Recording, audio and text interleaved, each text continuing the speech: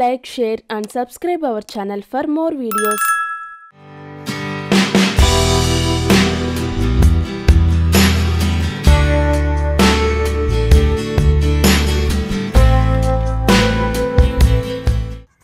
వీరికి ఎక్కువగా టీబీ వస్తుందట.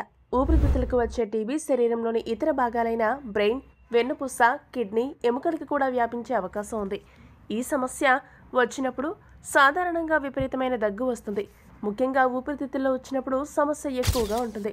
ఇది శరీరంలోని ఇతర భాగాలకు వచ్చినప్పుడు దగ్గు అంతగా ఇబ్బంది పెట్టదు. కానీ ఆ భాగాలకు సంబంధించిన లక్షణాలు కనిపిస్తాయి. మరిన్ని వివరాలు తెలుసుకుందాం. మైకోబ్యాక్టీరియం ట్యూబర్కులోసిస్ అనే బ్యాక్టీరియా కారణంగా వచ్చే టీబీ గాలి ద్వారా ఒక వ్యక్తి నుండి మరొకరికి వ్యాపిస్తుంది. ఈ సమస్య ఎవరికైనా వస్తుంది. కొన్ని కారణాల వల్ల వ్యాధి వ్యాపించే అవకాశం ఎక్కువగా ఉంటుంది. ఇమ్యూనిటీ తక్కువగా ఉన్నవారు అంటే హెచ్ఐవి షుగర్ వ్యాధి కంట్రోల్లో లేని వారికి వచ్చే అవకాశం ఎక్కువగా ఉంటుంది. దీంతో పాటు రెగ్యులర్గా ఆల్కహాల్ తీసుకోవడం డ్రగ్స్ వంటి మత్తు పదార్థాలకి బానిసైన వారికి కొన్ని రకాల క్యాన్సర్ వ్యాధిగ్రస్తులకి స్టెరాయిడ్స్ వాడేవారికి సరైన పోషకాహారం తీసుకొని వారికి ఛాతీకి సంబంధించిన సమస్యలు ఉన్న వారికి త్వరగా ఈ సమస్య వస్తుంది. టీబీ వ్యాధి నాడీ వ్యవస్థను చాలా విధాలుగా దెబ్బతీస్తుంది. కొన్నిసార్లు ఈ సమస్య ఎలాంటి లక్షణాలు చూపించదు.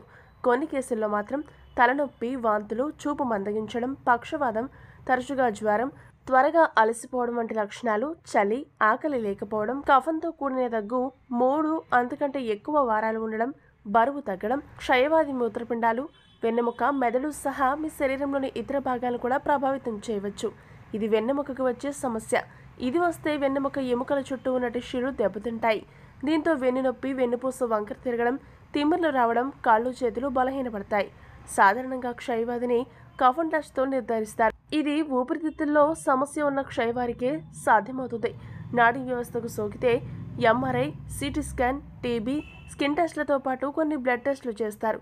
టీబీకి ట్రీట్మెంట్ శరీరంలో ఎక్కడ సమస్య ఉంది ఎంత తీవ్రత ఉంది వ్యాధి సోకిన వారు ముందు ఎప్పుడైనా ట్రీట్మెంట్ తీసుకున్నారా ఇమ్యూనిటీ ఎలా ఉంది ఇలాంటి అన్ని విషయాలను పరిగణలోకి తీసుకుని చేస్తారు. అయితే ఆర్ఎన్టీ సిపి ద్వారా ఉచితంగా మందులు పొందొచ్చు. టీబీకి ట్రీట్మెంట్ రెండు రకాలుగా ఉంటుంది. అందులో ఒకటి ఇంటెన్స్ ఫేస్ ఇందులో నాలుగు రకాల టీబీ మందులు రెండు నెలల పాటు ఇస్తారు.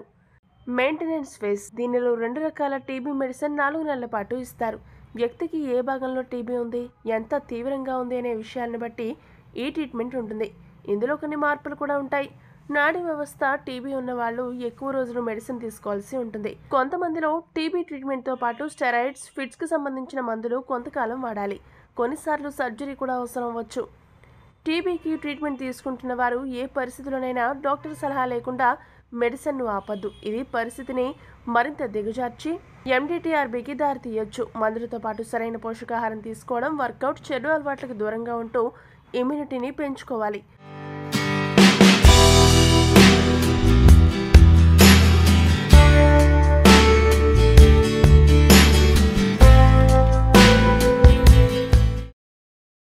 Please like, share and subscribe our channel for more videos.